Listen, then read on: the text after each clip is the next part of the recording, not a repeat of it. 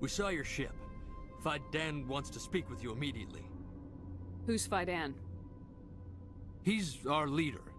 He needs your help to prepare for the Geth. They are making another push. Please, up the stairs past the freighter.